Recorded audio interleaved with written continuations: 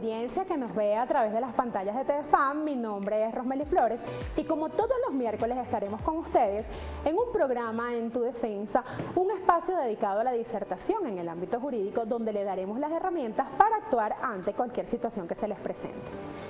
Sean todos y todos bienvenidos a nuestra casa TV Fan, donde estaremos actualizados en todo lo relacionado con las leyes de nuestro país. Podrán interactuar con nosotros a través de nuestras redes sociales en Tu Piso Defensa, a través de la plataforma de Instagram y TV Fan en todas las plataformas, Twitter, Instagram, YouTube. Además de eso, podrán apreciar todo el programa a través de nuestro código QR. Es un honor para mí tener en los estudios a nuestro diputado William Fariñas, primer vicepresidente de la Comisión Especial para la Defensa del Territorio de la Guyana Esequiba y Soberanía Territorial.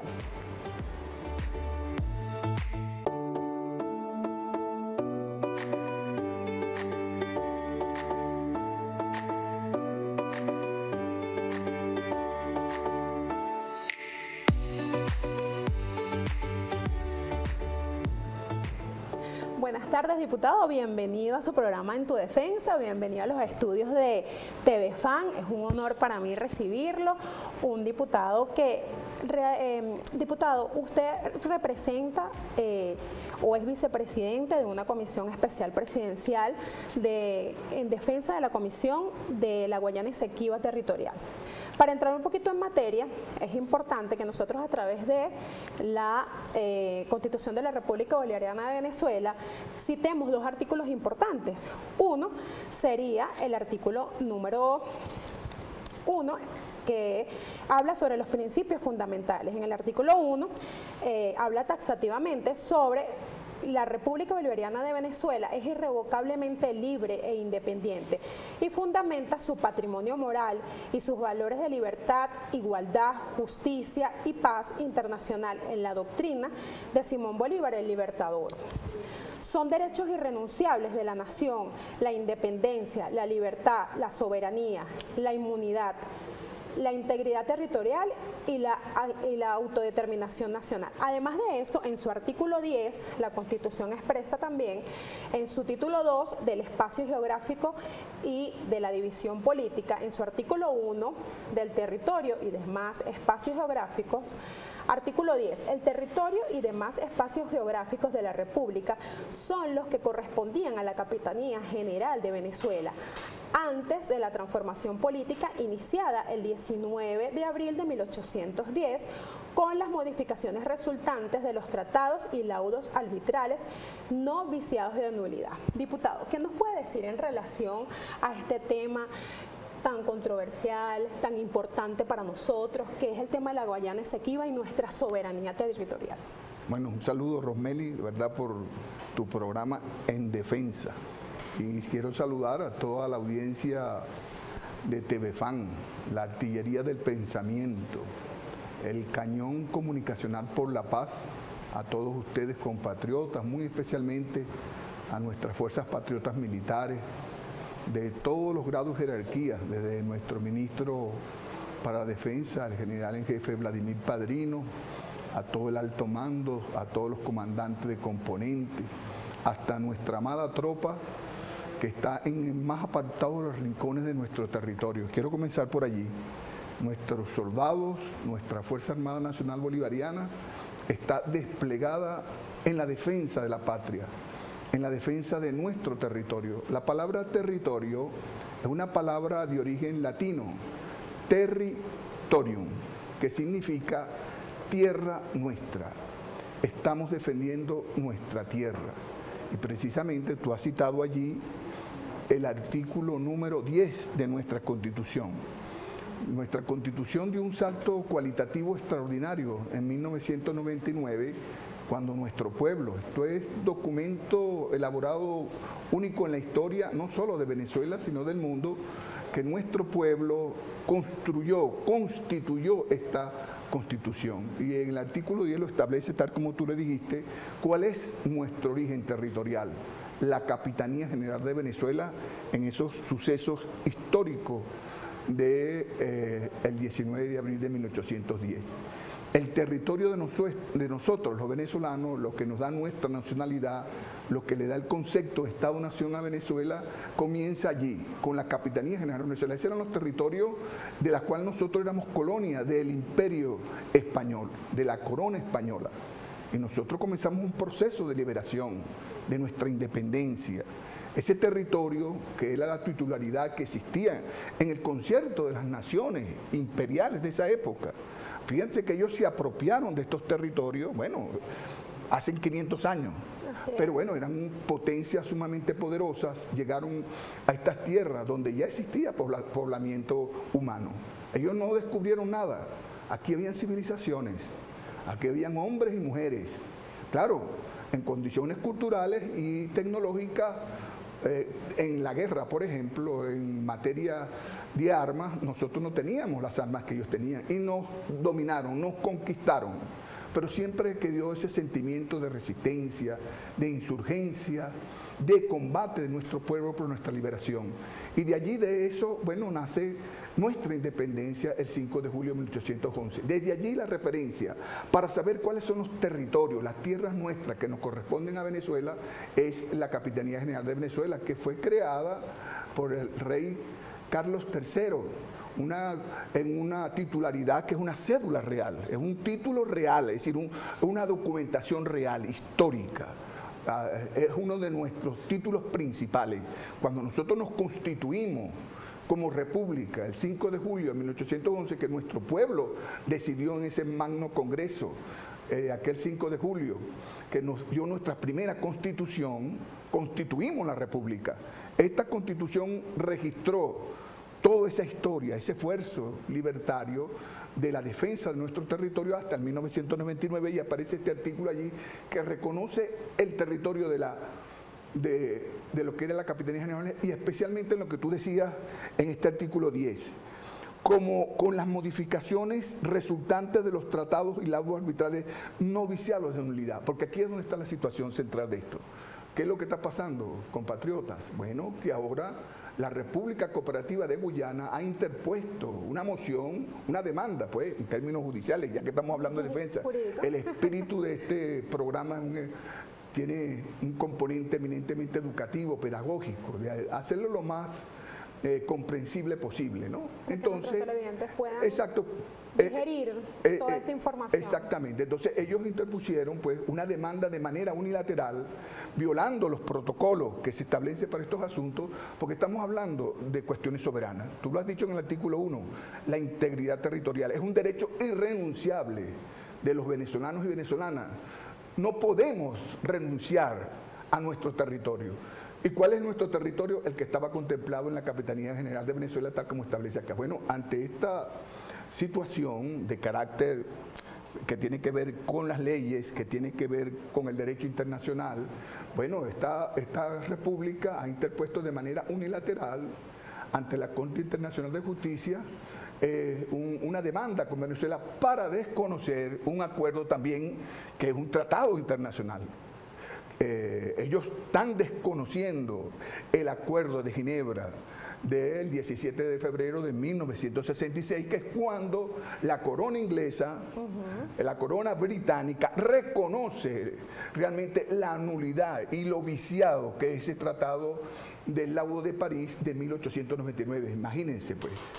La República Cooperativa de Guyana ahora quiere desconocer el Acuerdo de Ginebra de 1966 y retrotraernos al siglo XIX, cuando ni siquiera existían, lo digo con sumo respeto, por supuesto, porque es una república hermana nuestra, la República Cooperativa de Guyana, a quien respetamos, es un pueblo hermano, pues, cercano aquí a nosotros está del otro lado del Esequibo.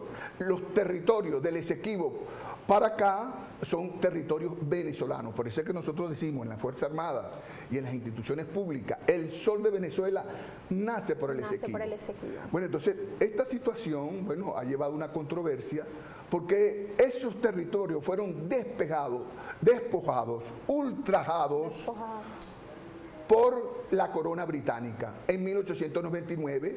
Bueno, y esto ha sido una lucha, quiero decírtelo, Rosmeli, esta es una lucha generacional, no tiene tinte partidista, quiero decirlo así, como tú lo has dicho, se creó una comisión especial el 7 de enero de 2021, apenas llegó esta majestad de la Asamblea Nacional en este periodo, periodo legislativo, el presidente de la República, en su condición de jefe de Estado, eh, creó una comisión presidencial para la defensa del territorio. Llamó a Consejo de Estado y bueno, y creó esta comisión que preside nuestra vicepresidenta ejecutiva Delcy Rodríguez Gómez e inmediatamente, apenas iniciamos la función, se crea esta comisión, esta es una comisión especial eh, de Estado que la preside el doctor Germán Escarraz, quien por supuesto nosotros los diputados, ahí eh, convivimos diputados, Rosmeli, de todas las tendencias. Escúchame bien esta cuestión, quiero informárselo a nuestro pueblo, de todas las tendencias, de todos los partidos. Hay unidad nacional en, este, en esta materia, somos patriotas. Hay cosas que nosotros en la Asamblea Nacional, la dinámica que ustedes ven en nuestras sesiones ordinarias, pero más allá de eso, de cualquier diferencia de, carácter ideológico, partidista, etcétera, en esta materia de la defensa del territorio de la Guayana Esequiba y la soberanía territorial hay unidad nacional de los partidos que hacemos vida allí. Realmente se está construyendo todo un gran movimiento nacional de opinión pública sobre esta materia. Hay coincidencia allí, bueno, y es la defensa de la patria. Así es, así es. Uno, uno de los factores bien importantes que, refleja es que la República Bolivariana de Venezuela siempre hará valer sus derechos legítimos sobre el territorio de la Guayana Esequiba mediante esas negociaciones directas que han venido esos acuerdos y obviamente ustedes han avanzado eh, en relación a todo este en esta comisión. Cuéntenos un poco que, cuáles han sido esos acuerdos, qué negociaciones, a qué negociaciones han llegado. Em, qué tipo de, información podemos transmitirle a, nuestros televidentes en relación a eso. Bueno, sí, efectivamente, este, yo quiero resaltar un hecho que tiene una absoluta actualidad en este momento. Ustedes saben, los venezolanos y venezolanas, que la semana pasada el presidente Donald, expresidente Donald Trump, quiero darle esta categoría, es un presidente, un jefe de Estado de una nación imperial, enemiga nuestra, porque no ha considerado a nosotros, esta tierra de paz, a nosotros los venezolanos y no venezolanos, a la tierra de Simón Bolívar y de nuestros libertadores de América, una amenaza inusual y extraordinaria en el 2015. ¿Por qué intención? Hay una total y absoluta relación en lo que dijo Donald Trump, que quieren apoderarse de los del petróleo de Venezuela y de nuestros recursos con este tema del Esequibo. Allá en la plataforma atlántica existe en este momento, compatriotas, quiero decírselo a ustedes, una plataforma de la ExxonMobil que está explotando aproximadamente 200 mil barriles diarios. Ese es petróleo nuestro, de manera irregular, inclusive deshonrosa. Esta transnacional, la ExxonMobil, está sacando petróleo de nuestro territorio. Esa es la intención, porque a nosotros no han declarado amenaza inusual y extraordinaria y no han impuesto estas sanciones criminales. Ellos quieren debilitar y no han buscado, como lo ha dicho Donald Trump, hacer colapsar a nuestra patria, hacer colapsar a nuestra república para que no tengamos fortalezas económicas y políticas para nosotros defender nuestro territorio. Y han hecho más de 900 sanciones como han sometido a nuestro pueblo, por eso hacemos cola en, la gasolina, no han, no han ultrajado todas nuestras posibilidades de negociación para adquirir los aditivos para producir gasolina, entre otras grandes desastres que han hecho esta gente. Bueno, y ellos eh, apenas decretaron en el 2015 esa situación, introdujo fíjense la cosa, el mismo año que nos declaran se introduce la demanda contra Venezuela y se desconoce el acuerdo de Ginebra. De verdad que esta es una intencionalidad guerrerista que está buscando este imperio norteamericano. Se descubrió en esta situación, lamentablemente tengo que decirlo, Rosmeli, que hay hombres y mujeres que nacieron en esta patria, inclusive políticos, que, aspiran a gobernar el país, este, que se sumaron a estas sanciones y a estas criminales eh, realidades eh, de Donald Trump y este presidente Biden. Bueno, efectivamente, ellos están allá nos interpusieron una demanda, el Estado venezolano, el presidente Nicolás Maduro creó, consultó al Consejo de Estado, ha estado pendiente informándoles y haciéndoles todas las atenciones de vida de Estado en política internacional, porque es nuestro presidente Nicolás Maduro quien conduce esto sabiamente. Asistió en el 2015, yo era presidente de la Comisión de Defensa de la Asamblea Nacional en el 2015 y asistió el presidente Nicolás Maduro, el único presidente que ha asistido a la Asamblea Nacional, a todo el Parlamento Nacional desde esta controversia de 1899 hasta ahora, y habló sobre este tema a la nación ha sido el único presidente, ha creado esta comisión presidencial, esta comisión de Estado que está en la Asamblea Nacional.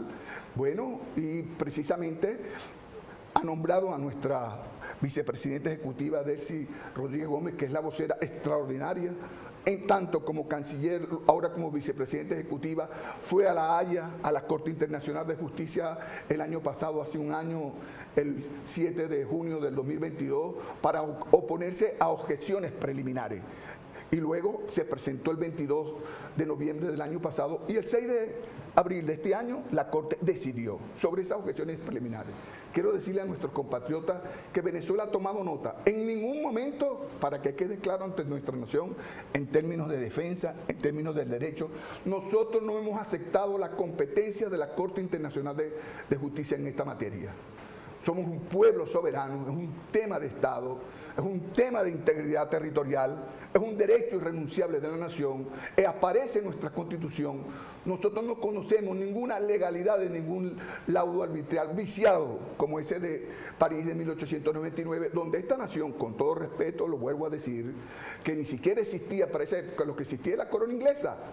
Y ellos pues ahora, desde 1966 para acá, quieren retroceder a donde ni siquiera aparecía en la historia. Hay suficiente razones históricas, morales, éticas, documentos, mapas, realidades, pronunciamientos de nuestro libertador Simón Bolívar y toda una generación. Por eso es que digo que esta es una lucha, esta es una controversia que ha llevado nuestro pueblo de manera generacional, sin tintes partidistas, es un llamamiento a la paz. Nosotros seguimos insistiendo, como lo dice nuestra constitución, lo dice muy bien, de manera hermosa, en este preámbulo de la constitución, este es el Popol Vuh de nosotros, nuestra constitución. Y decimos siempre, dentro de la constitución todo, fuera, porque esto es un documento elaborado, este es un documento, tú que estás en el mundo de las leyes, Rosmeli, este es un documento hecho por nuestro pueblo, pues, consultado por la Asamblea Nacional Constituyente del 1999, salió aprobada, es la única constitución en el mundo que fue debatida, se votó en un referéndum y el 85% de los venezolanos votaron a favor. Es decir, lo que está dentro de esta constitución es válido para nosotros porque es un proyecto de sociedad, es un proyecto que está en construcción y lo dice muy bien cuando hablamos de refundar la, la república, refundar la patria.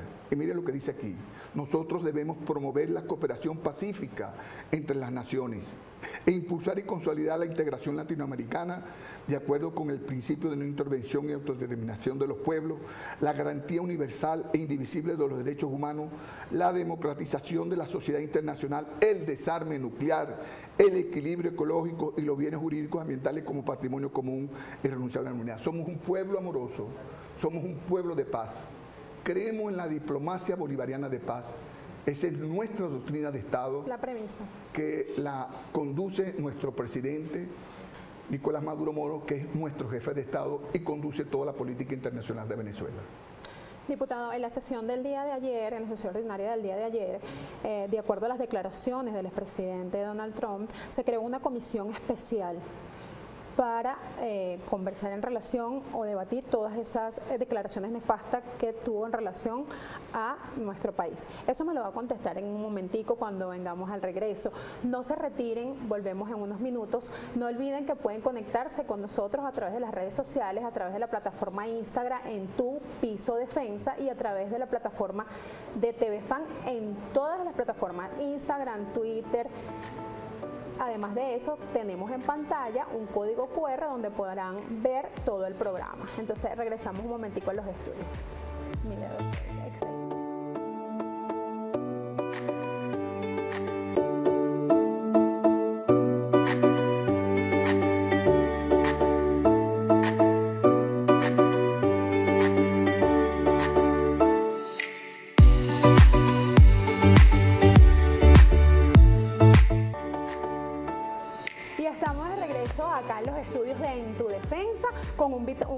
invitado súper, súper, súper especial para nosotros, que es el diputado William Fariña, primer vicepresidente de la Comisión Especial para la Defensa del Territorio de Guayana Esequiba y la Soberanía Territorial.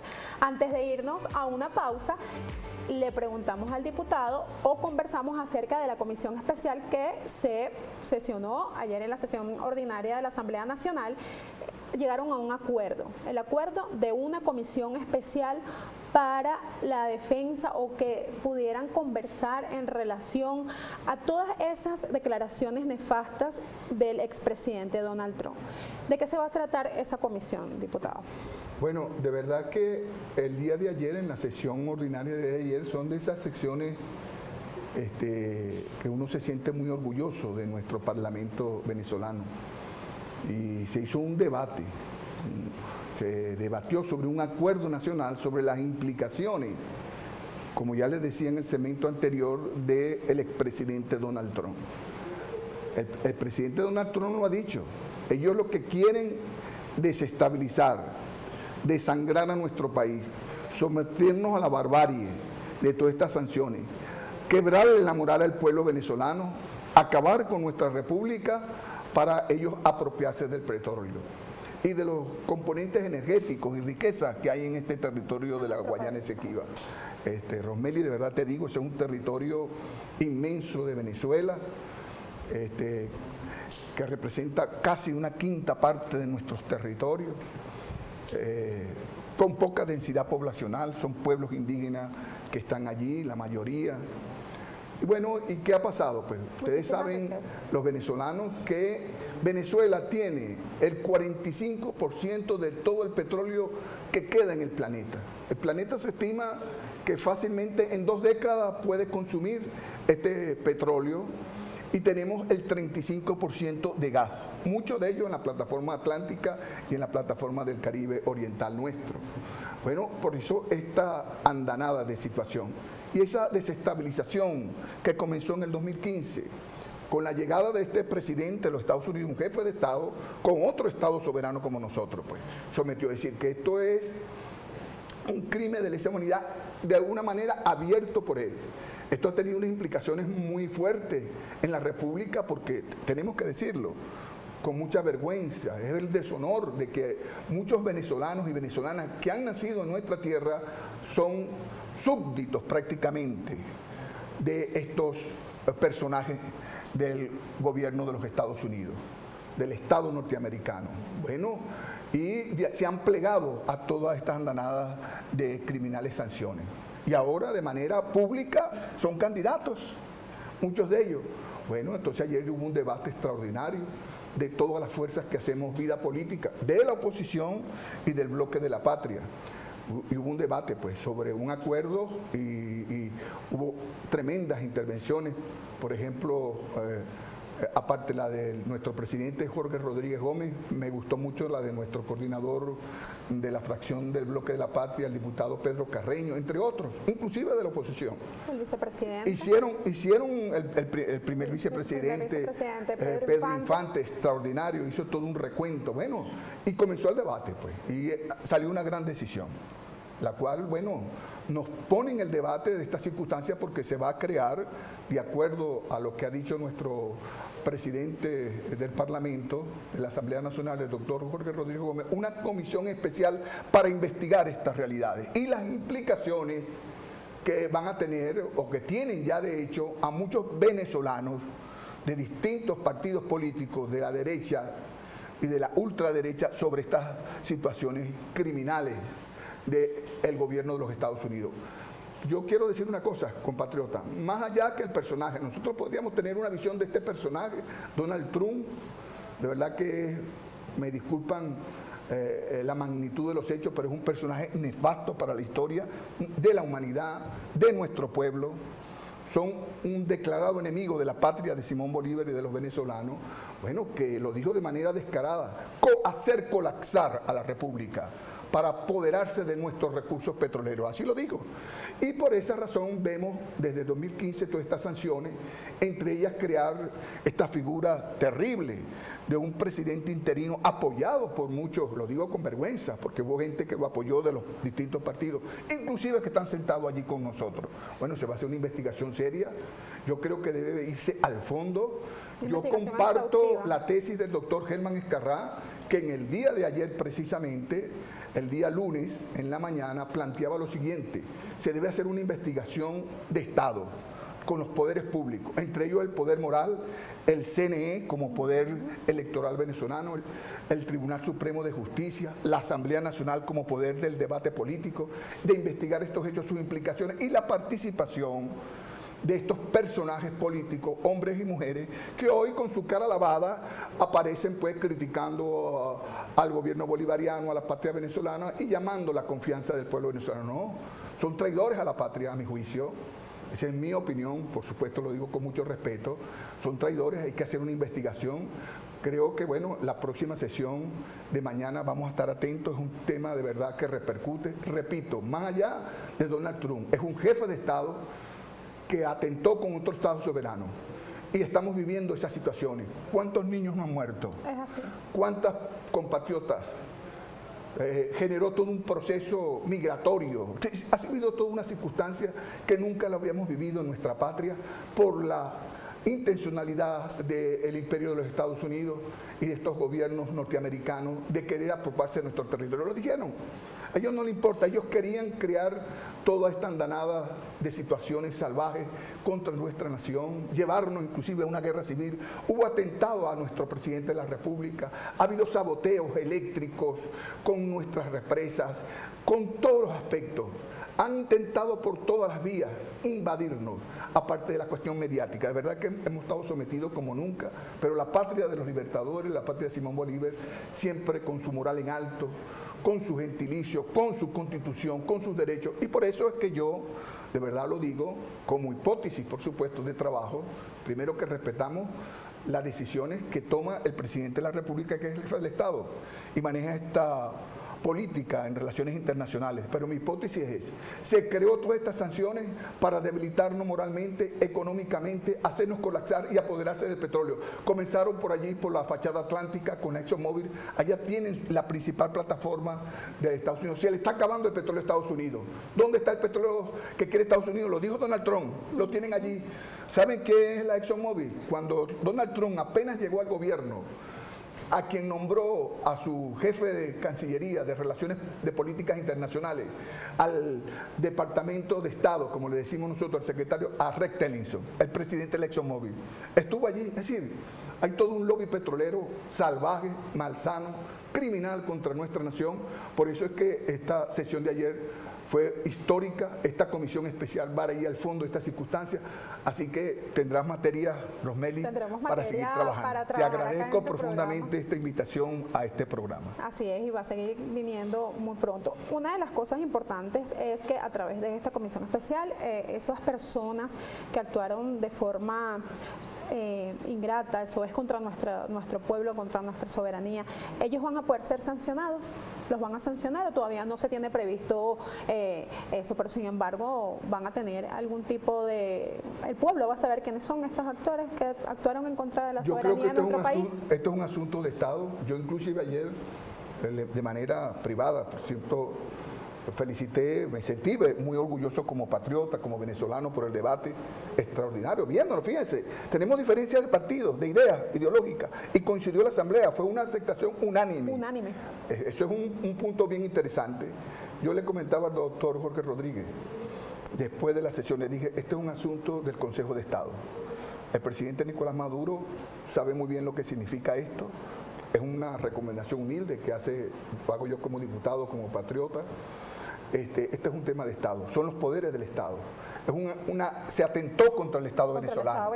Es otro Estado que está atentando contra el Estado. Son los poderes públicos que van a decidir, más allá de la Asamblea Nacional. Nosotros somos respetuosos de los poderes del Estado creo que va, tiene que ver no solo la Asamblea Nacional como poder público legislativo, tiene que ver el poder moral en todos estos asuntos de investigación que tiene que hacer el Ministerio Público, la Defensoría del Pueblo, cuántos atentados de niños han muerto, tiene que ver el Tribunal Supremo de Justicia, en fin, son los poderes del Estado que van a decidir sobre esta situación y someter a toda esta andanada criminal de todos estos personajes, venezolanos y extranjeros que han atentado con la estabilidad de la República Bolivariana de Venezuela. Y todos estos personajes tienen aspiraciones ahora. Bueno, imagínense. Entonces, eh, imagínense, atentaste contra nosotros, contra tu pueblo, contra nuestra soberanía, pero al mismo tiempo ahora aspiras ¿Cómo vamos a manejar esa situación? ¿O cómo bueno, se maneja yo he definido esto como la hipocresía. ¿ves? La hipocresía. Es un acto de hipocresía de todos estos personajes que su cara bien lavada van a nuestro pueblo,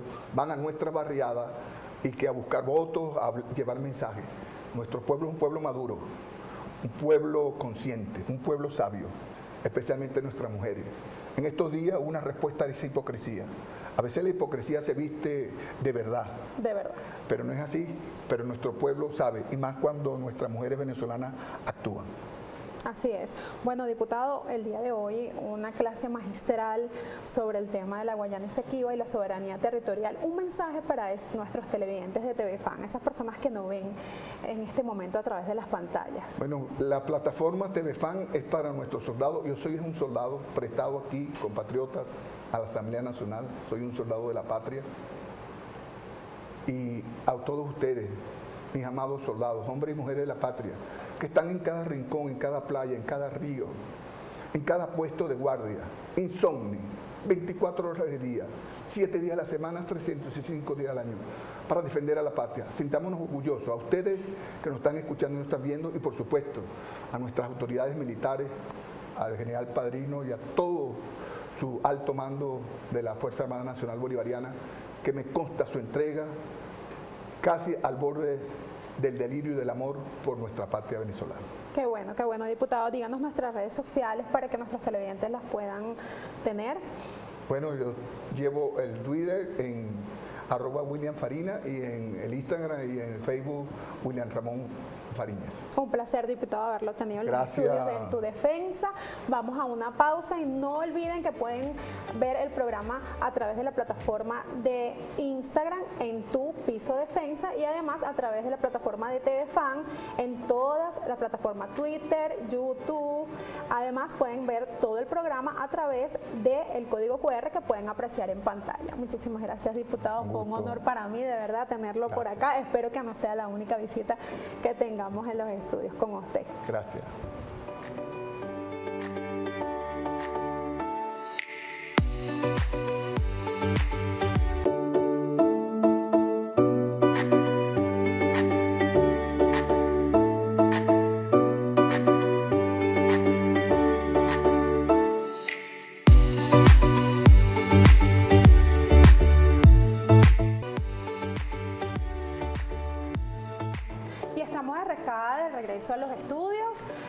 Sin antes recordarles nuestras redes sociales en Tu Piso Defensa a través de la plataforma de Instagram y TV Fan a través de todas las plataformas Twitter, Facebook, YouTube.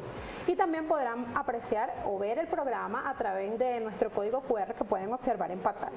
Es un honor para mí tener en los estudios a nuestro diputado de la Asamblea Nacional, el diputado Riger Sergel, que fue electo por el Circuito 3 de Caracas, presidente de la Subcomisión de Vivienda y Desarrollo Urbano, ingeniero civil egresado de la Universidad Central de Venezuela. Entre una de sus responsabilidades más destacadas es que es militante del movimiento de inquilinos e inquilinas y luchador social del derecho a la vivienda, miembro del Consejo Político del PCV de Caracas. El día de hoy le estaremos conversando un poco acerca de la reforma de la ley de régimen prestacional de vivienda y hábitat aprobada en primera discusión en la Asamblea Nacional el 30 de mayo y también hablaremos un poco acerca de los desalojos arbitrarios. Es un placer, diputado, bienvenido. Entrando un poco en materia, explíquenos un poco a toda nuestra audiencia de qué se trata esta nueva ley sancionada este 30 de mayo. Sí, bueno, muchas gracias Rosmeli por la oportunidad. Saludos a toda la audiencia de de TVFAN. Y bueno, efectivamente, nosotros en la Asamblea Nacional aprobamos en primera discusión la reforma de la ley del régimen prestacional de vivienda y hábitat. Es una ley macro, ¿no? Yo diría que es eh, la ley que cubre todo lo que tiene que ver la materia de vivienda y hábitat.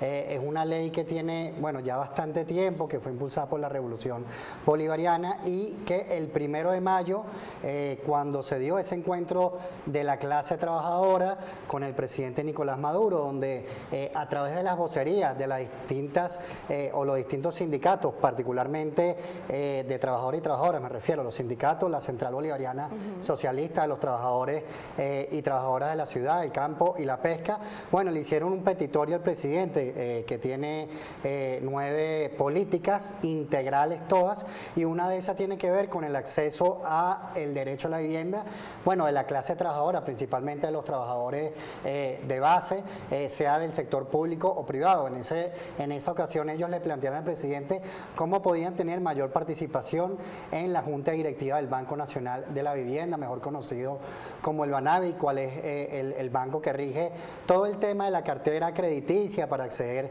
a la vivienda. ¿no? Y bueno, eh, el presidente aprobó eh, no solo esa solicitud, sino reformar la ley que lo rige, que es esta ley que acabamos de mencionar. Y bueno, hemos establecido una comisión especial que está conformada por ocho diputados y diputadas, cuatro de ellos son compañeros y compañeras de la clase trabajadora, todos somos trabajadores, pero bueno, cuatro de ellos, eh, por cierto, ahorita se encuentran en la Asamblea Internacional de la OIT y bueno, hemos establecido una agenda de debate para en esta segunda etapa, luego de haber aprobado la primera discusión, que es la consulta con todo el pueblo de Venezuela. Diputado, ¿cómo se vincula esta nueva ley, esta nueva reforma de la ley, cómo se vincula con el plan de la patria?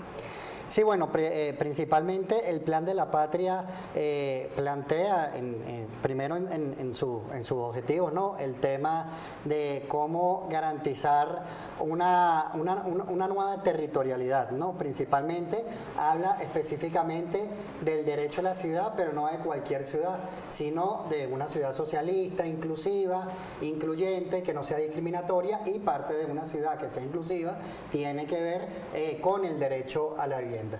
Y por otro lado, también el Plan de la Patria en su desarrollo plantea eh, la democracia participativa y protagónica, como lo plantea también nuestra Constitución, y eh, en los planes de cómo constituir esa ciudad, cómo garantizar una política de vivienda y hábitat, bueno, tiene que ver con el tema de la participación eh, principalmente del pueblo y en este caso nosotros nos vamos a enfocar a la clase trabajadora, ¿no? que ha sido la que ha construido la mayor cantidad de viviendas en Venezuela. Cifras recientes de la Gran Misión Vivienda Venezuela nos plantea que el 70% de la vivienda ha sido construida por la misma gente en bloqueo a propósito de lo que se planteaba anteriormente en el corte y con estas eh, declaraciones lamentables del expresidente Trump de, Estados Unidos. Bueno, a pesar de ese bloqueo, nosotros seguimos construyendo vivienda, incluso a pesar de la pandemia también. No, ¿cómo ha sido logrado? Porque hay a veces gente que dice, no, es imposible que se puedan construir esas decenas o cientos de miles de viviendas. Bueno, ha sido con la participación popular, la participación de la gente. Y esta reforma lo que también plantea es, bueno, si el pueblo está organizado en el territorio a través de las asambleas de viviendas venezolanos, a través del movimiento de pobladores, a través de los comités de tierra urbana, bueno, también hay una organización que hemos desaprovechado durante unos tiempos, lo, digo con toda la responsabilidad, en el tema de la vivienda, que tiene que ver, bueno, lo, la gente, los trabajadores y trabajadoras organizados en sus centros de trabajo, principalmente los sindicatos, pero también en una caja de ahorro, bueno, cómo sumamos esa potencialidad para que también se sume a una política, a todo el sistema de eh, construcción, no solo de construcción de vivienda, sino de una política de vivienda, bueno, que eh, se viene eh, potenciando a través de la Gran Misión Vivienda Venezuela desde el año 2011, 2012, que fue su creación. De acuerdo al ámbito legal, diputado, ¿quiénes ejercen esta ley? Mira, bueno, el órgano con, competencia, o mejor dicho, el ministerio con competencia es el Ministerio del Poder Popular, con en competencia en materia de vivienda y hábitat, que es el, el MIMBI, ¿no? Este, que hoy está eh, llevado por el ministro Ildemaro Villarruel, que bueno, también a propósito de que estamos aquí en TVFAM, bueno, forma parte también de, del cuerpo del pueblo, este, que ha defendido también nuestra patria, pero eh, también eh, se ha logrado a través de el órgano superior de vivienda que fue creado a través de un decreto por el eh, presidente, el comandante Chávez y continuado por el presidente Nicolás Maduro.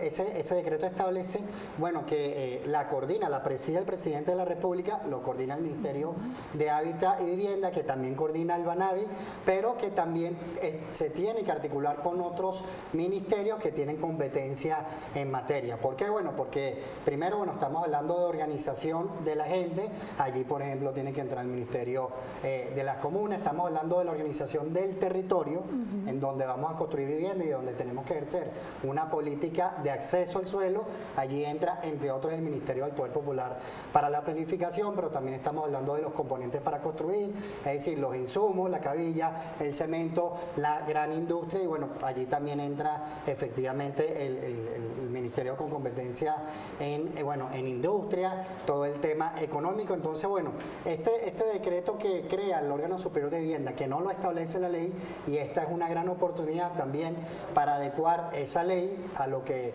viene constituyendo la Gran Misión Vivienda Venezuela, bueno, establece una serie de articulación institucional, pero también con corresponsabilidad que lo establece eh, nuestra Constitución bolivariana. Nuestra Constitución bolivariana en todo su ámbito plantea la corresponsabilidad, de eso se trata eh, la democracia participativa y protagónica. En el artículo 82 plantea que el Estado es responsable del el derecho a la vivienda, pero dice que es corresponsable de los ciudadanos y ciudadanas. En ese sentido, bueno, eh, el, quien también tiene competencia, aparte del Estado con estos órganos, con estas instituciones, es el pueblo organizado, que se viene organizando en la Gran Misión Vivienda Venezuela, repito, este, a través de las asambleas de vivienda venezolanos, a través de distintas eh, organizaciones y movimientos sociales que se encuentran en el eh, Congreso de la Nueva Época, en el capítulo Hábitat y Vivienda, pero bueno, también ahorita se va a involucrar con mucho mayor fuerza porque ya, ya vienen participando, porque los que construyen este, también en las asambleas de vivienda venezolanos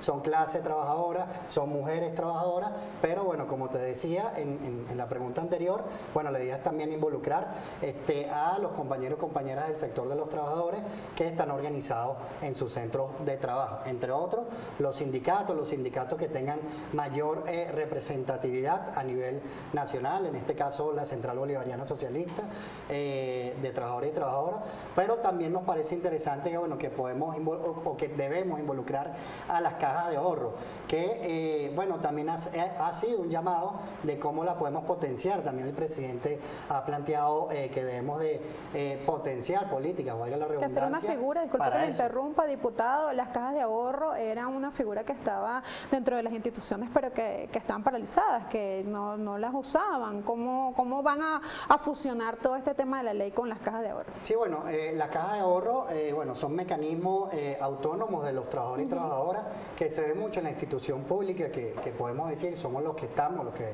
ejercemos la institución pública, somos los más afectados del bloqueo con respecto a la situación económica, pero también hay en centros de trabajo privados y bueno, es un mecanismo de ahorro ¿no? para distintos ámbitos, puede ser eh, salud, educación, eh, pero también el tema de la vivienda. ¿no? Entonces, ¿qué estamos planteando hasta ahora que en el debate que hemos tenido este, con los diputados y, las diputadas de esta comisión especial? Bueno, ¿cómo podemos generar alianzas estratégicas? Si el Banco Nacional de la Vivienda tiene distintos fondos, el fondo que se genera a través del presupuesto nacional, el fondo de ahorro obligatorio de vivienda, que es el famoso 2 2 eh, y 3%, este, que eh, los trabajadores dependientes tienen que aportar 2% del patrón, 1% del trabajador, al final el 3% lo da todo el trabajador, o los trabajadores y trabajadoras eh, de manera voluntaria, los que trabajan por cuenta propia, perdón, este, también hay un fondo de ahorro voluntario de vivienda, eso es lo que genera el mecanismo o, los fondos que tiene el Banco Nacional de la Vivienda. Si hay un esfuerzo también de la caja de ahorro, bueno, ¿cómo nosotros juntamos esos dos esfuerzos y bueno, podemos generar mecanismos para el acceso de la vivienda, que no necesariamente tiene que ser eh, créditos para comprar en el mercado secundario. Interesante información, diputado, que nos dio en relación al tema de las cajas de ahorro. Ahora nos puede dar información a todos estos televidentes que nos ven a través de la pantalla de Telefan. ¿Quiénes son elegibles? ¿Cómo pueden acceder a este sistema de acuerdo al beneficio que tiene esta reforma? Bueno, evidentemente la ley eh, plantea eh, quiénes son los eh, ciudadanos y ciudadanas que pueden acceder al, sistema. principalmente, bueno, son todos los trabajadores y trabajadoras que cotizan, la que la gente lo conoce como ley política habitacional, pero al final es el fondo de ahorro voluntario y el fondo de ahorro obligatorio. Pero con eh, estas propuestas que venimos debatiendo y discutiendo, la idea es que la gente eh, y los trabajadores no solo puedan ser beneficiados de forma individual, sino también de forma colectiva. En ese sentido, estamos eh, estudiando la posibilidad de que el ahorro pueda ser también de forma colectiva, de que los créditos también puedan ser ejercidos de forma colectiva a través de las instancias organizativas que se dé la gente, que existan como las ABB, o a través de estas figuras eh, institucionales de los trabajadores y trabajadoras. Y la ley también plantea eh, una priorización, sujetos de atención especial.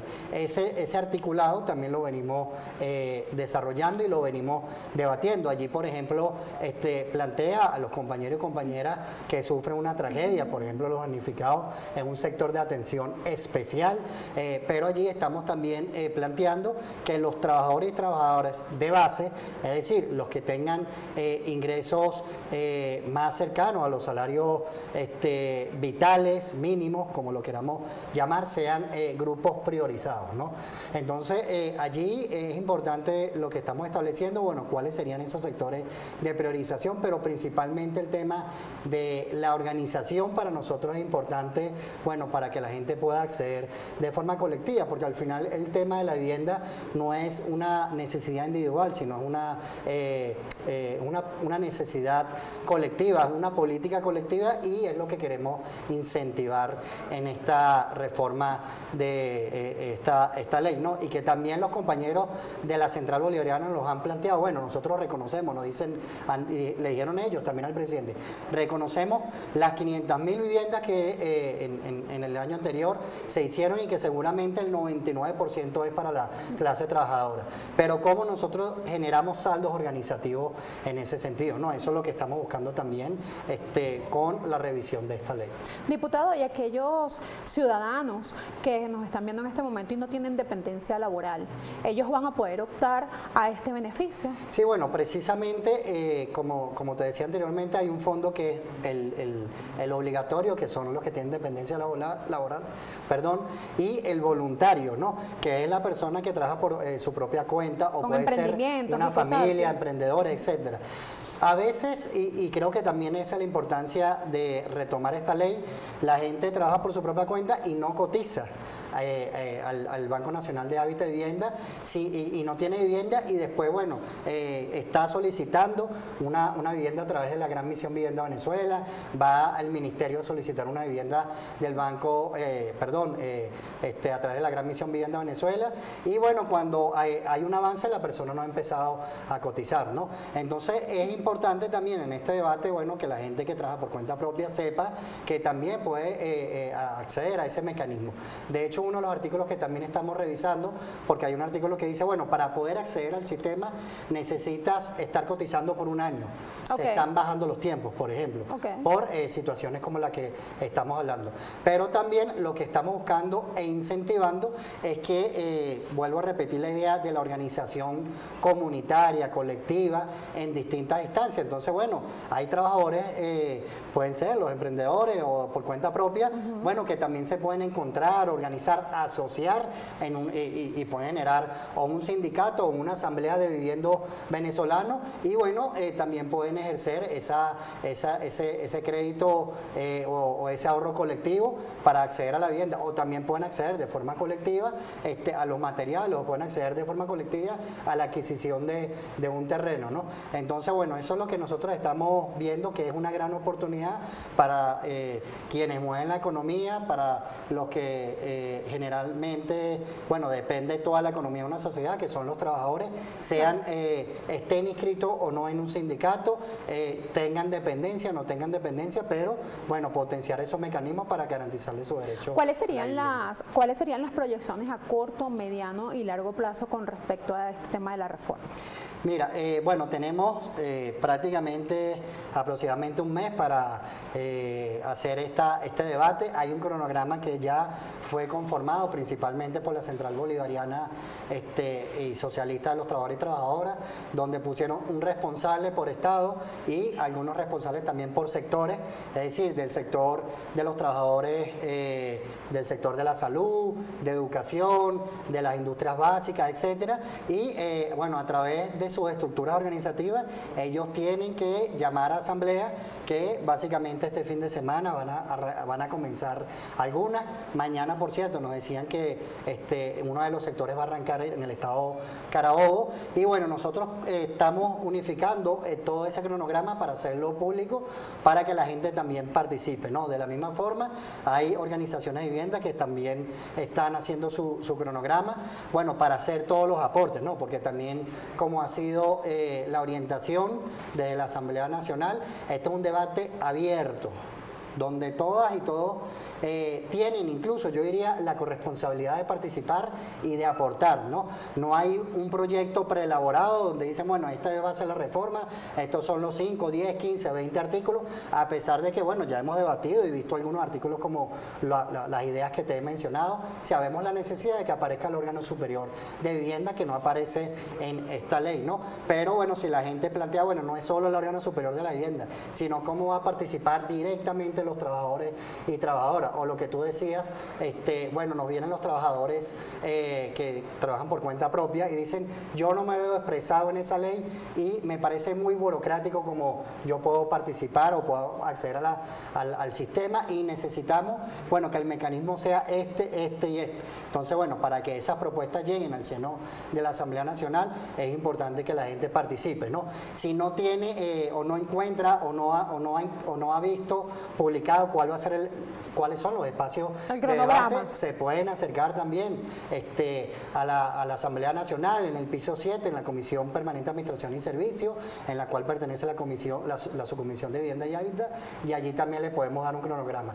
Pero también es una eh, vamos a decir, una obligación que estamos intentando que sea así, este, que los consejos legislativos y regionales también establezcan un cronograma de debate y aprovechamos las cámaras de Telefan para hacer el llamado a los concejales este, y a las concejales de, eh, los municipios, de las alcaldías, principalmente los que tienen eh, la responsabilidad este, en eh, urbanismo, hábitat, vivienda, infraestructura, etcétera, bueno, en hacer un debate de la ley del régimen prestacional de vivienda y hábitat. De la misma forma, los diputados y diputadas. Darle una este, formación a esos compañeros de la comunidad para que sepan realmente cómo es esa reforma, de cómo está establecida, cuántos artículos tiene. O sea, una, una formación en relación a la reforma. Sí, este, y como nos decía también el diputado Pedro Carreño, nos decía, somos orientadores de este proceso de consulta. No, así tenemos que ser los diputados, nosotros no tenemos que imponer, sino que realmente tenemos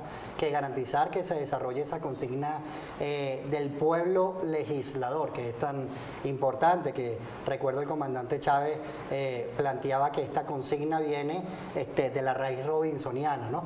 Entonces, bueno, ¿qué más podemos hacer? Tanto los diputados de nuestra Asamblea Nacional como los diputados de, la, eh, de las regiones regionales y los y, los concejales eh, de, de, los municipios, bueno, ser orientadores de nuestro pueblo para, para, esta consulta, ¿no? Una ley que está conformada, una ley bastante amplia, como te decía al principio es macro, eh, por 12 artículos. Eh, perdón, 112 artículos, 9 títulos, es decir, eh, eh, es bastante amplia porque no solo, o sea, no solo trata el tema del ente rector, como ya lo estamos diciendo, del Ministerio con competencia, del Banco Nacional de la Vivienda, este, pero bueno, también habla todo el tema de el, financiamiento, ¿no? que son distintos capítulos, todos los fondos, pero también habla de el acceso a la tierra, ¿no? Habla también de cómo se tiene que dar el tema de la transformación integral de los asentamiento urbano. ALA también tiene unos seis artículos con respecto al tema del alquiler de viviendas y bueno, tiene también el tema de las sanciones que la hemos venido también revisando en esta primera etapa de los debates. Diputado, en relación al tema de esta reforma, ¿va a haber algún tipo de regulación con el tema de los alquileres, alguna regulación con el tema de la venta de, las viviendas? Porque si obviamente eh, están eh, los trabajadores van cancelando una cuarta, una participación en relación a, su caja de ahorro, a, lo del tema habitacional, ¿Qué le garantiza o cómo sería en ese caso? Mira, bueno, hay, hay dos, dos, temas de, con lo que tú eh, tocas, ¿no? Con este punto. Primero, este, cuando estamos estudiando el tema de las ideas eh, del ahorro eh, colectivo, se está planteando también la generación de fideicomiso para el tema de que, bueno, los, trabajadores y las trabajadoras también tengan esa, esa garantía del acceso a los recursos que ellos van ahorrando, ¿no? Y de la la misma forma, este, bueno, si se pueden realizar esas alianzas estratégicas con eh, las cajas de ahorro, bueno, que eso también pueda quedar o pueda establecerse a través de convenio que se haga con eh, el sistema, es decir, no solo con el Banco Nacional de la Vivienda, porque bueno, el Banco Nacional de la Vivienda es quien eh, maneja el tema de los recursos de todo el sistema, los recursos financieros, pero por ejemplo también se pudiera generar esa, esa, alianza estratégica con el INTU, el Instituto Nacional de Tierra Urbana, para el acceso este, a una, una cartera de tierra, ¿no? un, banco, un banco de tierra. O se puede generar eh, una alianza estratégica, cuando digo alianza estratégica puede ser un, eh, eh, establecer un convenio a través del Ministerio de Hábitat y Vivienda para el acceso de componentes de materiales para la construcción, para la construcción. porque puede ser a través de Patria, por ejemplo, para la remodelación. ¿no? Eso en primera instancia y efectivamente tenemos que garantizar que eso quede en esta reforma. Y lo otro que planteaba el tema con el tema de, bueno, del alquiler o el tema de la compra, el tema la venta. Bueno, si es el tema del alquiler, de eh, lo que se conoce como mercado secundario, la ley tiene unos cinco artículos, hay que ver si la gente lo plantea con respecto al tema de si ve una necesidad de una reforma, pero eh, esa, esta ley que es macro también remite a la ley especial, que es la ley de regulación y control de arrendamiento de vivienda, que eh, es una ley bastante amplia también, explícita, este, donde plantea todo el tema que tiene que ver con el, con el alquiler, donde prohíbe entre otras cosas este, el tema de los desalojo arbitrarios, cómo se tienen que reubicar a las personas en caso tal, pero hay algo que sí venimos debatiendo y creo que es muy importante que en este calor del debate lo conozca la audiencia, y es el tema de la no mercantilización de las viviendas de la Gran Misión Vivienda Venezuela. Importantísimo Eso ha sido, ha sido eh, es una propuesta que en esta mesa de trabajo, en esta primera etapa, hemos tenido eh, con precisamente el órgano superior de la, de la vivienda, el Ministerio de Hábitat y Vivienda, en donde plantean que están un poco limitados en su actuación a la hora de cuando se presenta una problemática, cuando lamentablemente una persona, por X o Y razón, mercantiliza la vivienda, la Gran Misión Vivienda Venezuela. Eh, aquí, ¿Qué decimos? Bueno, la vende. Nos han llegado también a la Asamblea Nacional denuncias en donde en estas páginas de venta de cualquier cosa, entonces dicen que venden una vivienda a la Gran Misión Vivienda Venezuela, cuando eso no tiene que ser, ¿no? no. Entonces, ese debate ya lo estamos dando. Hay una propuesta de un articulado en donde se le pueda dar esa competencia al Ministerio de Hábitat y Vivienda para poder garantizar a través, entre otras cosas, de la inmobiliaria nacional, bueno, que tenga la preferencia de la readquisición de la vivienda, porque bueno, si una persona estuvo allí cinco años y quiere, este, no quiere estar allí y necesita irse, perfecto, pero hay que garantizar que no entre en el mercado porque esa vivienda no fue construida para que va a tener esa persona que recibió y mercantilizó. En primera instancia sería este, no caer en la sanción, sino de que se haga este, de forma articulada con el ente con competencia, con la inmobiliaria y eh, el, ministerio, pero si a la hora también, efectivamente, como lo dice, bueno, lo hicieron sin pasar por ese procedimiento, bueno, también eso debería de repercutir en una sanción, que no significa eh, solo tiene que ser pecuniaria la, sanción, es decir, en términos monetarios, bueno, sino lograr que la vivienda, este, vuelvo a repetir, no se mercantilice, porque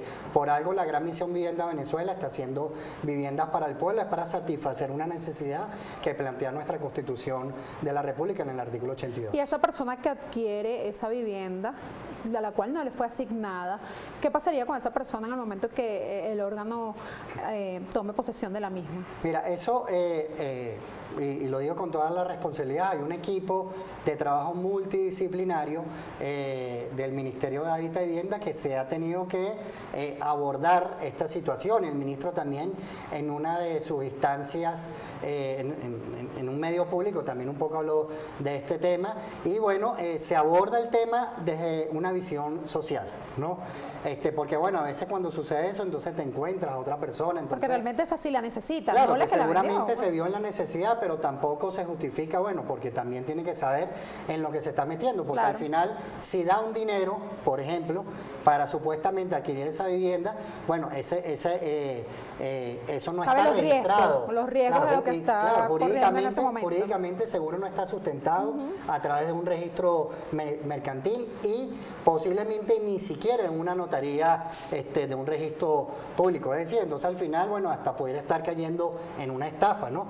Entonces, bueno, esa es la idea de estar estableciendo, de establecer en ley esos mecanismos, este, también hablando nuevamente de la participación del poder popular, porque cuando estamos hablando de la gran misión viendo Venezuela, en un urbanismo de la gran misión viendo Venezuela, cuando ya la gente está usando, habitando, viviendo colectivamente en esos espacios, conforma un comité multifamiliar de gestión. Eso me lo va a responder al retorno.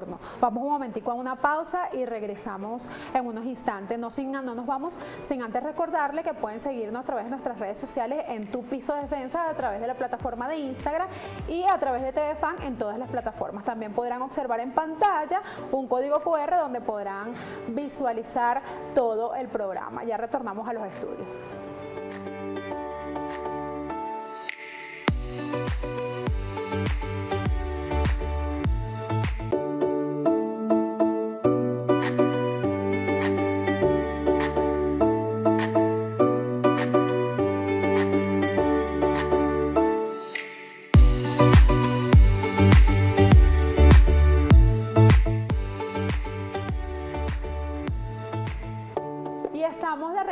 En los estudios de En Tu Defensa. Le recordamos nuestras redes sociales en Tu Piso Defensa a través de la plataforma de Instagram y TV Fan a través de todas las plataformas.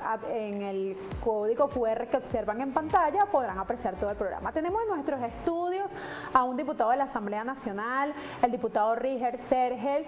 Estamos conversando un poco acerca de la reforma de la ley del sistema prestacional y además de eso, hablando un poco sobre el tema de los desalojos arbitrarios. Antes de irnos a la pausa, estábamos conversando con, eh, o hablamos un poco acerca de las implicaciones que tienen las personas que adquieren viviendas que no se le han sido asignadas. Cuéntenos un poco en relación a eso. Sí, bueno, eh, ratificar eh, que la, la, idea es que bueno, las la, viviendas que construye eh, la Gran Misión Vivienda Venezuela son viviendas que no se deben de mercantilizar y por ende quien adjudica, este, quien prioriza, quién es la persona que este, va a tener acceso a esa vivienda es el órgano con competencia, es el Ministerio de Hábitat y Vivienda y cuando lo hace una persona individual personal, eso ya nos tiene que llamar la atención, eso es una alarma hecho, si eso llega a ocurrir, hay que acudir eh, eh, al ente con competencia, al Ministerio de Hábitat y Vivienda, a su consultoría jurídica, a la Inmobiliaria Nacional, etcétera, ¿no? Y por, por ende, hay que, en, ley, queremos también establecer los mecanismos para esa protección. Y bueno, también estaba con la idea de que eh, en los urbanismos de la Gran Misión se constituyen los comités multifamiliares de gestión. Nosotros también creemos que hay que fortalecer cuál es la corresponsabilidad que tienen los comités multifamiliares de gestión, que te decía que el, Ministerio de Hábitat y Vivienda, cuando eh, ocurren estas irregularidades, lo primero que hace es consultar al consejo, al, al, comité, multifamiliar de gestión, que al final son los vecinos y vecinas que eligen a su vocero y su vocera, bueno, para llevar la gestión del urbanismo. Entonces, bueno, tenemos que ver cómo logramos fortalecer esos mecanismos para la mayor participación de nuestra gente beneficiada de la Gran Misión Vivienda Venezuela. Diputado, al comienzo del programa le notificamos a nuestros televidentes que hablaríamos un poco en relación al tema de los desalojos arbitrarios. Cuéntenme más o menos cómo es este tema, porque a, lo mejor nos están viendo en este momento y yo, bueno, yo pasé por esa experiencia, cómo puedo hacer, a dónde debo dirigirme, cómo debo manejarlo.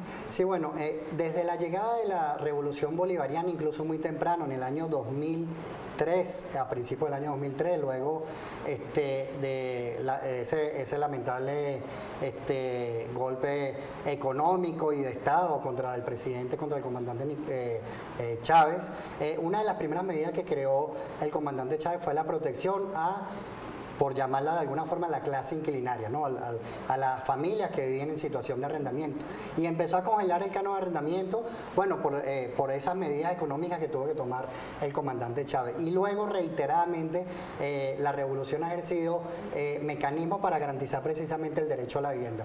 Una de esas, o, de esos mecanismos, es, bueno, luchar contra el desalojo arbitrario, contra el desalojo forzoso y ha establecido una serie de leyes, entre esas un decreto con rango y valor de fuerza de ley en la última habilitante del comandante Chávez contra la desocupación arbitraria de vivienda. Esta, este decreto ley eh, plantea un mecanismo eh, para, bueno, cuando una persona es víctima de un desalojo arbitrario y también si una persona, un pequeño propietario necesita recuperar su vivienda, cuál es el mecanismo. ¿no?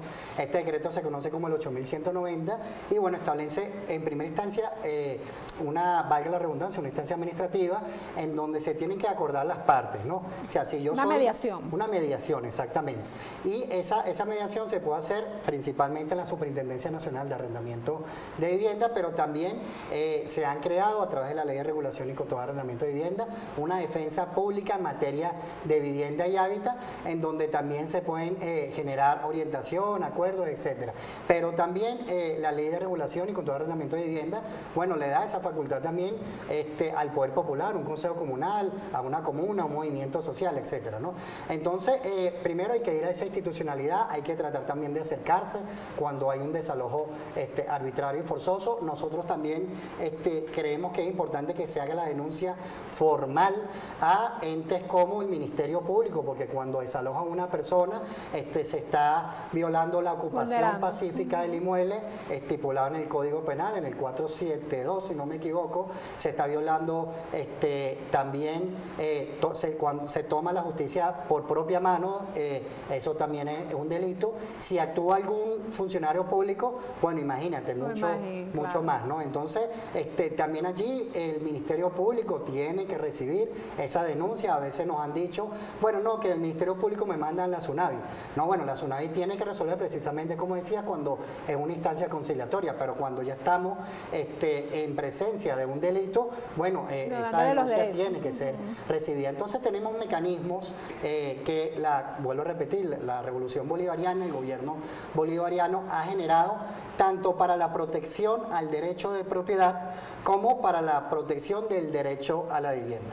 Que pareciera a veces que están un poco como que encontrados cuando hablamos del tema del arrendamiento, pero eh, por el contrario, de otros países nosotros hemos establecido estos mecanismos para incluso, pudiéramos decir, ganar, ganar.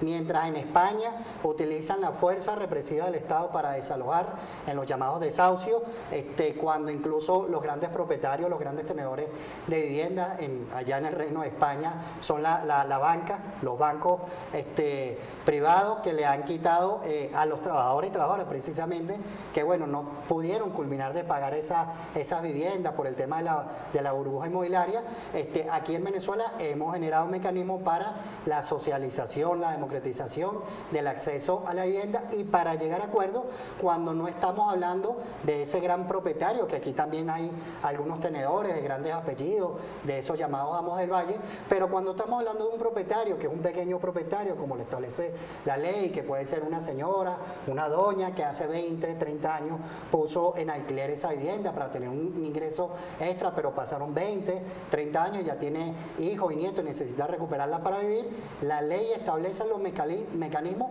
para garantizar esa reubicación de ese inquilino y que ese pequeño propietario pueda garantizar su derecho a la propiedad. Por eso hablamos de mecanismo de ganar-ganar. Ay, diputado, interesantísima esta información que nos da el día de hoy. ¿Qué recomendaciones le podemos dar a todos esos televidentes que nos ven en este momento?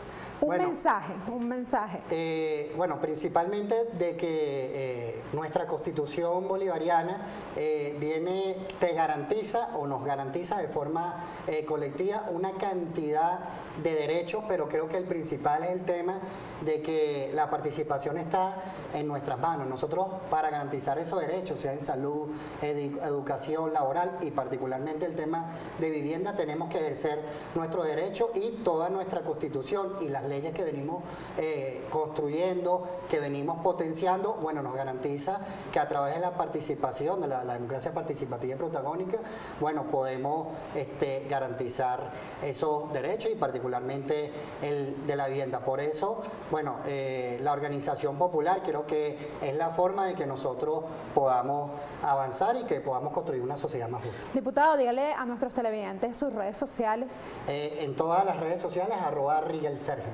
Terminante. Muchísimas gracias, diputado, por estar con nosotros, acompañados acá en los estudios en tu defensa. Espero que esta no sea eh, la única oportunidad que lo tengamos acá. Pero bueno, entonces eh, vamos a una pausa y retornamos los estudios, no sin antes recordarles nuestras redes sociales en tu piso defensa a través de la plataforma de Instagram y TV Fan a través de todas las plataformas. A través del código QR podrán acceder en todo el programa.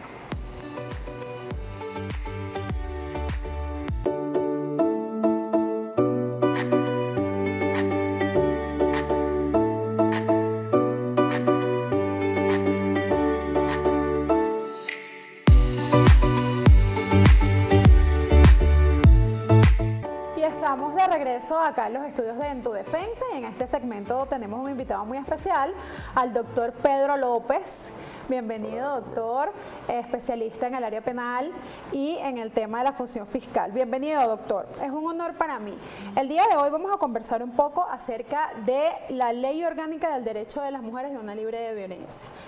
Cuéntanos un poco a qué se refiere esta ley, que, cuáles son los delitos que se cometen, Cuéntenos más o menos para que toda esa audiencia que nos está viendo en este momento pueda discernir de qué estamos hablando el día de hoy. Bueno, muchas gracias por la invitación, Rosmery. Un saludo a toda tu audiencia. Eh, la Ley Orgánica sobre el Derecho de las Mujeres a una Vida Libre de Violencia, eh, bueno, data del año 2007 en su primera, digamos, versión, viene a derogar lo que es la Ley de Protección de la, de la Mujer y de la Familia. Ley eh, de avanzada que protege a las mujeres como grupo vulnerable, atendiendo pues, o desarrollando el principio constitucional de igualdad ante todos, pues todas las personas ante la ley. Todos somos iguales ante la ley, como lo establece nuestra, nuestra Carta Magna. Sin embargo, para que esa igualdad pueda ser real y efectiva, eh, la ley utiliza los mecanismos de las, mm, acciones afirmativas, como se le conoce en derecho, y la ley orgánica sobre el derecho de las mujeres a una vida libre de violencia es una de estas acciones afirmativas, vamos a decirlo así, que eh, eh, eleva los derechos de las mujeres como un grupo vulnerable para que puedan tener una protección real y efectiva ante situaciones donde se vulnere su eh, estabilidad emocional, psicológica, social, económica y se vulneren, por supuesto, todos este, eh, los derechos que las mujeres tienen en nuestro país. ¿Cuántos delitos tiene esta ley, doctor?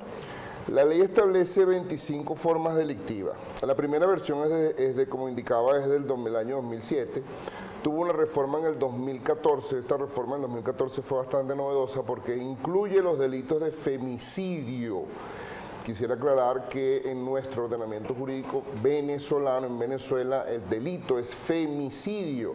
A veces solemos confundirlo con el término feminicidio, que en otras legislaciones del mundo eh, utilizan esta terminología. Para nosotros el femicidio es la muerte de las mujeres por razones pues, de políticas de Estado, el feminicidio. Pero nuestro delito, el femicidio, el femicidio agravado y la inducción al suicidio son incluidos en la norma en la reforma del año 2014.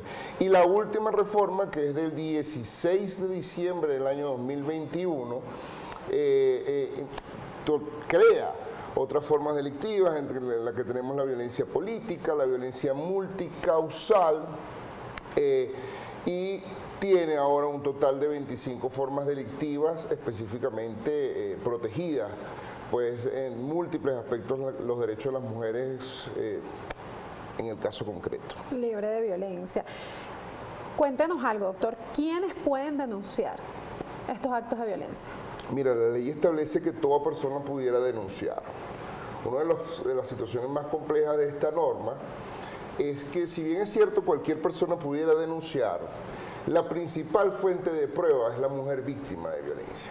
Y tenemos que entender que las mujeres eh, eh, que son víctimas de esta violencia reiterada suelen tener muchísimas afectaciones de índole emocional, es decir, es la primera eh, persona con terror y temor de colocar una denuncia porque teme que su pareja, en el caso de que estemos hablando de una relación de pareja, porque esta es otra confusión también que, se ve comúnmente a lo largo de los años, que se cree que estos son delitos exclusivamente entre parejas y no es así. Estos delitos aplican a, todo, a toda mujer, protegen, digamos, eh, como sujeto pues, vulnerable activo a toda mujer dentro del territorio nacional. Y las relaciones de pareja son formas que agravan la pena, agravan el delito. Es decir, eh, la pena es más alta cuando hay relaciones de pareja. Entonces, cualquiera pudiera denunciar, pero si la mujer no va a ampliar la denuncia, no va a rendir su testimonio, la mujer no, no, suministra medios de prueba, por ejemplo su teléfono donde están algunos mensajes ofensivos, unos mensajes de acoso, la mujer no, de repente sus hijos son testigos de los hechos y no quiere involucrarlos en el proceso porque le da temor. Es decir, no le da al Ministerio Público como director de la acción penal las herramientas necesarias para poder, en el caso concreto, eh, tener una investigación o un pronóstico de condena, como le decimos nosotros los penalistas, a esa denuncia va a ser muy difícil, ¿no? Entonces, eh, eh, el grupo primario de apoyo, entendiendo el grupo primario de apoyo, esa familia que de repente la ve preocupada o la ve sufriendo, le ve los golpes, los moretones y decide poner la denuncia, y van los funcionarios a buscarle, y ella dice, no, a mí no me pasa nada y es el primer choque. Doctor, importantísimo. ¿Quiénes son esos o cuáles son esos órganos que deben recibir esas denuncias? Bueno, eh, el director de la acción penal es el Ministerio Público. El Ministerio Público, perfectamente los 365 días del año, él está abierto en su unidad de atención a la víctima y se puede recibir denuncias de lunes a lunes. Inclusive existe una unidad especializada para los delitos de violencia contra la mujer que está activa todos los días del año. Siempre hay un fiscal especializado en esta materia, en esta competencia, presto a recibir la denuncia. Pero no solamente el Ministerio Público es un órgano receptor de denuncias, también los organismos policiales tienen sus oficinas especializadas en la materia. Eh, el Cuerpo de Investigaciones Científicas Penales y Criminalísticas también tiene su división especializada en materia de familia, mujer y protección de este grupo. Y eh, ellos pueden recibir las denuncias por las formas delictivas de cualquiera de los delitos establecidos en la norma. La ley no dice lo contrario. Doctor, ¿cómo debe ser el trato que debe recibir esa mujer que es víctima de violencia en esas instituciones en el momento de que ella va a generar, o esa mujer que, tiene esta situación en particular va a, a, colocar la denuncia? ¿Cuál es el trato que deben tener esos funcionarios ante esta víctima? Bueno, es un punto bastante interesante el que estás tocando con respecto a lo que se conoce como la sensibilización. Desde que fue sancionada esta ley en el año 2007 y en todas sus subsiguientes reformas, sus dos reformas, hasta la actual, está vigente, hoy día, si mal no me equivoco, el artículo 17, donde exige que para el manejo de esta norma debe, debe existir un personal debidamente capacitado, concientizado y sensibilizado en materia de violencia contra la mujer. Esa sensibilización implica tener un conocimiento amplio de las afectaciones psicológicas y psíquicas por las que puede pasar una mujer que es víctima de violencia. Saber que estas eh, mujeres son las últimas realmente en tomar la decisión para colocar la denuncia, porque primero ellas no lo identifican. Eh, son las últimas en reconocer la existencia de la afectación emocional o la existencia de la violencia per se y les da un terror muy grande hacer la denuncia. Porque primero entra en el conflicto de que, bueno, él es el padre de mis hijos, o qué va a pasar ahora, mis hijos me van a recriminar que metí al papá preso. Soy ama de casa. Soy ama de casa, no tengo un trabajo. Una dependencia laboral donde pueda sustentarme. No tengo la capacidad, o nunca estudié, nunca trabajé, porque siempre estuve en el rol, pues, de ama de casa, que es un trabajo muy arduo, por cierto, muy respetable eh, eh, eh, este tema de la ama de casa, pero entra en ese conflicto. Entonces, las personas o los funcionarios que trabajan en esta competencia especializada deben tener en conocimiento todas esas afectaciones. Porque existe la posibilidad, y es muy probable y es muy, muy, muy real el hecho de que la mujer coloque la denuncia hoy y que mañana vaya a llevarle comida de repente al detenido o vaya a decirle que quiere retirar la denuncia. Eso es normal en este proceso, es completamente normal. Sin embargo, a veces los funcionarios dicen, no, que esta señora si es esto o es aquello, ¿no? Pero no, no mencionar ningún término, Ningún término peyorativo, ningún claro. término peyorativo, pero no, eso corresponde a una afectación emocional o psíquica que viene de años. Y eso es parte de esa sensibilización. Esta es una materia que tiene una característica que genera muchísimo estrés, eh, sobre todo en los funcionarios activos, porque primero son los delitos más denunciados después de los delitos comunes. Segundo, eh, es el tema emocional que implica esta norma. No está, a pesar de que es una norma de carácter penal, de carácter punitivo, donde el Estado puede ejercer su jus punendi en protección de la mujer. Esta es una norma que evoca circunstancias familiares donde están niños de por medio, familias, personas que, hubo, que tuvieron algún vínculo emocional, circunstancias pues este, a veces trabajan juntos, en fin, una serie de circunstancias emocionales que hacen su investigación no como un delito común, como un robo, como un hurto, como otra especie delictiva. Ok, eh, doctor, eh, vamos a una pausa y al retorno quisiera que habláramos un poquito de cuando la persona, la mujer, es, una víctima inminente. ¿Qué hacer en ese caso? Pero eso me lo va a responder al regreso. No nos vamos sin antes recordarles nuestras redes sociales a través de la plataforma de Instagram en Tu Piso Defensa y a través de todas las plataformas TV Fan. A través del código QR que ven en pantalla podrán ver todo el programa. En estos momentos vamos a una pausa y retornamos.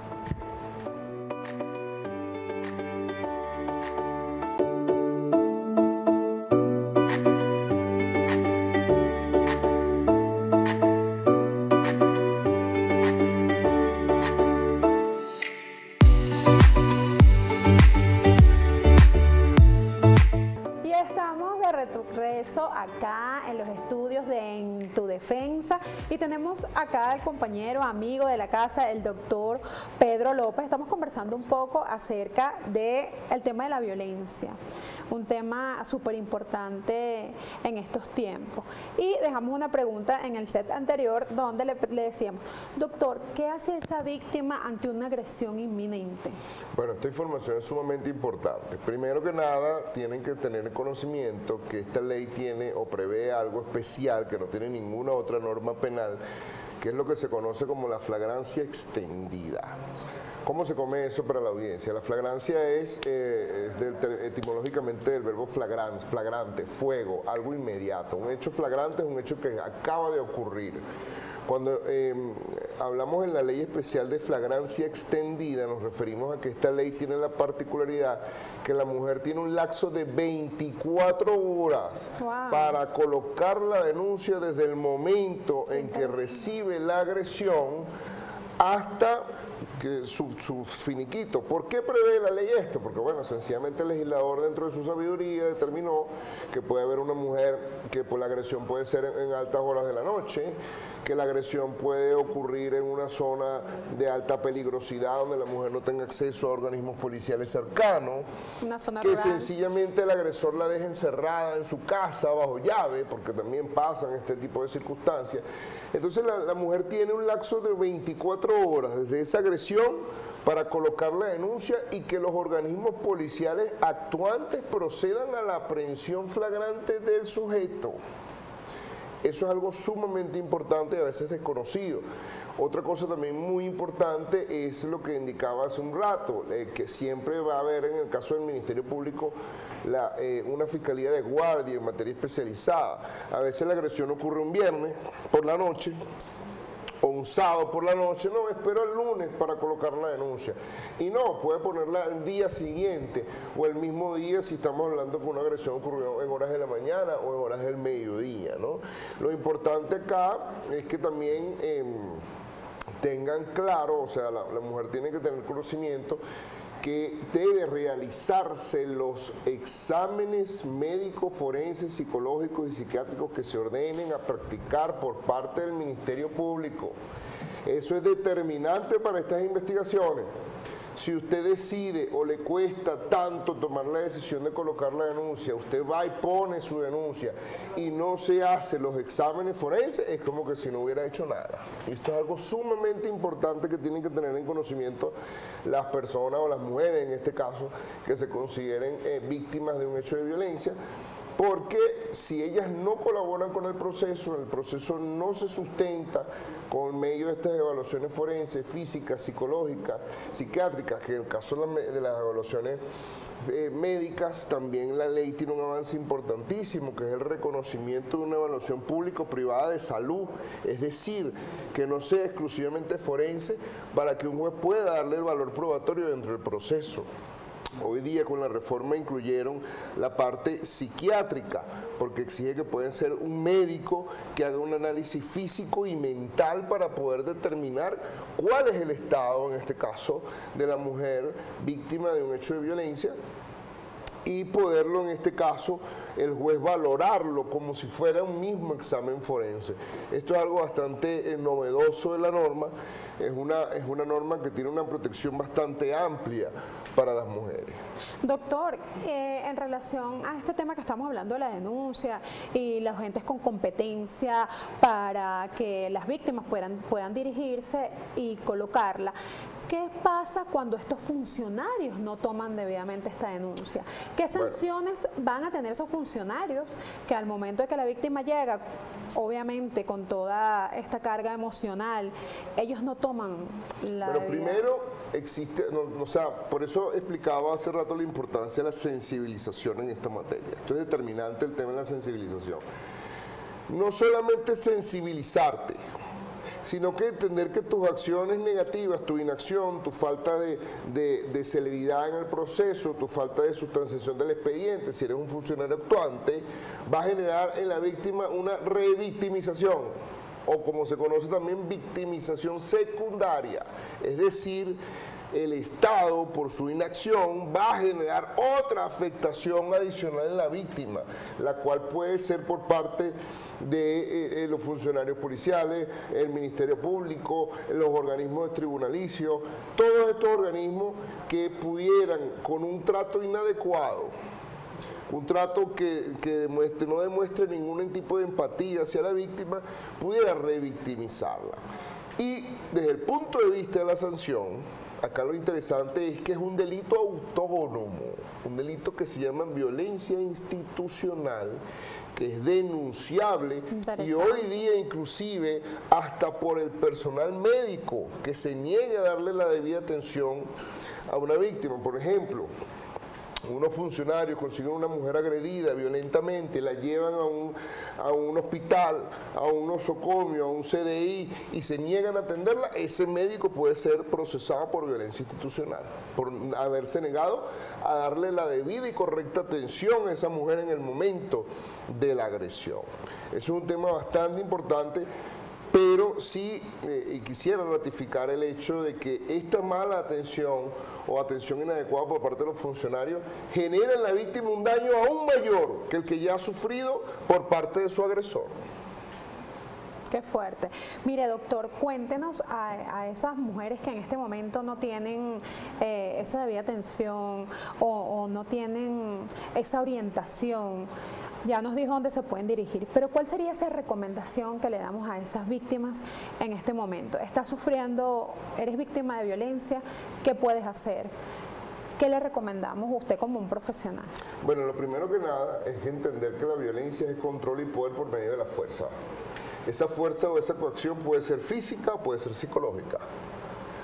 El control no te pongas esa ropa, no te pongas ese escote, no salgas con esas personas, no salgas con tus amigos, no vayas a visitar a tu familia, el control. Te voy sesgando progresivamente desde tu grupo primario de apoyo hasta todos los aspectos de tu vida. Cuando entro ese proceso de control, empieza el maltrato, que va a variar, por supuesto, dependiendo del sujeto activo.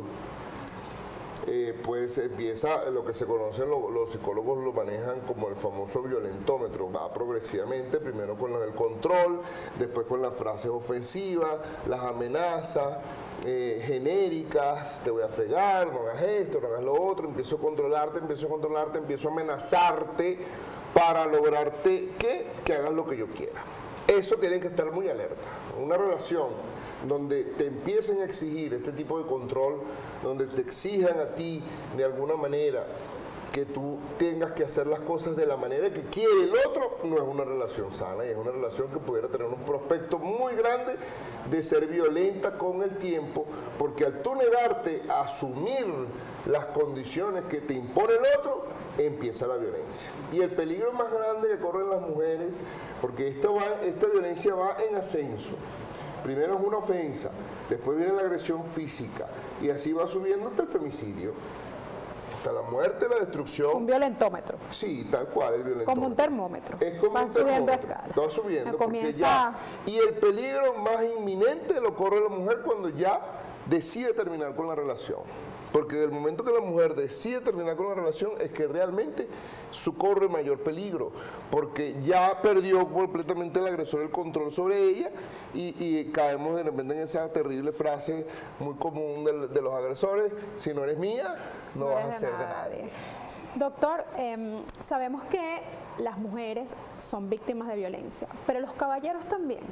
Un hombre puede ser víctima de violencia, un hombre puede dirigirte a esas instancias que mencionamos eh, a, lo largo del programa, a colocar una denuncia porque fue víctima de violencia de género. Bueno, la ley de protección, como, como esta ley de la que estamos conversando, la ley orgánica sobre el derecho de las mujeres a una vida libre de violencia, el sujeto pasivo de esta norma son las mujeres exclusivamente. Un hombre no puede colocar denuncia por los delitos establecidos en esta norma. En la norma anterior, a la que da- data de los años 90, la ley de protección de la mujer a la familia, los hombres sí podían poner denuncias. Sin embargo, estadísticamente, el porcentaje de violencia hacia los hombres era tan bajo, era tan mínimo, que bueno, que sencillamente se excluyeron como sujetos, este, digamos, Y posibles podemos sujetos determinar que realmente, doctor, si era un ley. porcentaje mínimo o que simplemente por un tema de machismo el hombre no acudía a esas instancias a denunciar. Bueno, en esa época, Hay dos vertientes. eh, de, de hecho, los que han estudiado los grupos vulnerables, en este caso, y, y sobre todo este, personas de la comunidad LGBTQ+, y que son también grupos que pudieran utilizarse, que por cierto, eso es otro de los avances de esta norma, que incluye, pues, este, eh, eh, dentro de la violencia multicausal, violencia hacia, este, eh, por, por identidad o razones de género, ¿no? Pero el tema de los hombres sí, lo hace muy vulnerable el hecho pues, de, la, de- la conmoción o la burla que pudiera hacer so- someterse a esto. Hoy día creo que las redes sociales nos han mostrado ba- bastantes eventos donde sí se pudieran darse casos donde hay una mujer violenta, una mujer que agrede a un hombre, bien sea verbal o físicamente. Eh, cuestión que en esos años no se veía. Hay que ver en un futuro cómo van pues esta- estas acciones. De momento un hombre pudiera solamente denunciar a una mujer por una lesión física, pero por el delito de lesiones o por cualquier daño a su propiedad, en caso que le rompan un vehículo, que le rompan algún, al- algún, objeto de, su pecunio, su valor. Pero por los delitos previstos en la ley orgánica sobre el derecho de la mujer a una vida libre de violencia, un hombre no puede colocar denuncia. Pero sí puede, obviamente, dirigirse a esas instancias de acuerdo a lo que usted acaba de Sí, conversar. sí, si existe una agresión física que le deja una lesión en cualquiera de sus calificaciones, leve, levísima, grave, gravísima, si existe un daño a su propiedad, puede, si es un delito, por supuesto, de acción pública eh, o, o- o es sujeto a alguna estafa o algún delito, pero no con ocasión al género porque el tipo penal de nuestra norma o nuestros delitos no permiten el sujeto activo, o per- eh, mejor dicho, sí, suje- sujeto pasivo, que es la víctima, eh, el- el hombre. Doctor, dígale a nuestros televidentes sus redes sociales. Bueno, eh, me pueden contactar por eh, arroba abogado.lópez, es mi Instagram, y mi Twitter arroba defensor de ellas. Bueno, doctor, el día de hoy un tema súper interesante, todo este tema de la violencia, con el tema de la mujer. Muchísimas gracias por haber estado con nosotros. Fue un honor. Espero que podamos tenerlo nuevamente en los estudios y poder abarcar un poco más este tema porque lamentablemente el tiempo en pantalla apremia, pero lo importante de esto es que nosotros le estamos dando las herramientas a esa mujer que se encuentra en casa, esa mujer que está vulnerable, esa mujer que tiene alguna afección, algún tema eh, psicológico que no ha podido, porque el primer paso es como denuncio, el primer paso es el primer paso es dar el primer paso, vale la redundancia. ¿Cómo, cómo comienza ese proceso? Y en este momento nosotros dimos una pequeña parte de lo que ellas pueden hacer para poder. porque el hombre no va a cambiar. Eso es algo que tienen que tener bien claro. La persona que es violenta, sea hombre, sea mujer, no va a cambiar a menos que reciba terapia o ayuda psicológica. Y, a veces la mujer comete el error de dejar a sus hijos o mantener el hogar por el nombre de, los, de la familia y es lo peor que hace porque los niños observan esa conducta violenta y la pueden reeditar y que se convierten también en víctimas de ese proceso. Así es, así es, doctor. Bueno, el día de hoy, un tema muy interesante. Muchísimas gracias por acompañarnos a través de las pantallas de TV Fan. No nos vamos sin antes recordarles nuestras redes sociales en Tu Piso Defensa a través de la plataforma de Instagram y TV Fan a través de todas las plataformas. Podrán ver el programa a través de nuestro código QR. Doctor, muchísimas gracias. Gracias a ustedes por estar con nosotros. Nos vemos el próximo miércoles y tendremos reposición los días jueves de 9 a 10 de la mañana. Muchísimas gracias a todos los que nos acompañaron el día de hoy.